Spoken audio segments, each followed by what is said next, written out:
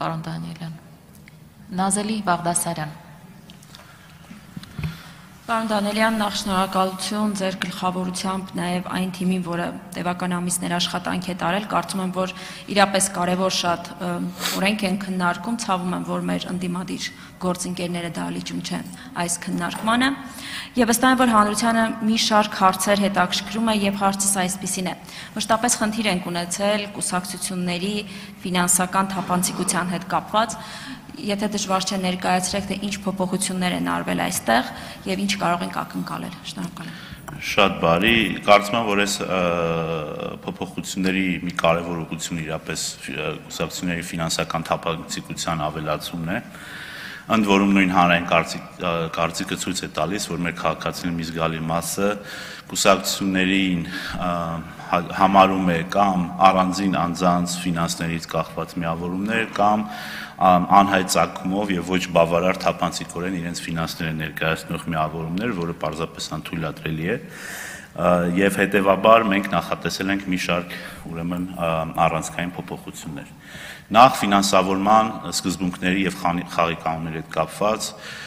ավելացվել են մի շարք հստակեցումներ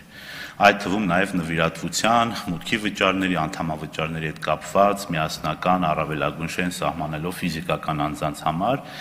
եւ արգելելով օրենքով իրավաբանական անձանց կողմից, այսինքն եթե բարձ ասած բիզնեսից ուղիղ կուսակցությունների ֆինանսավորումը թափանցիկության տեսակետից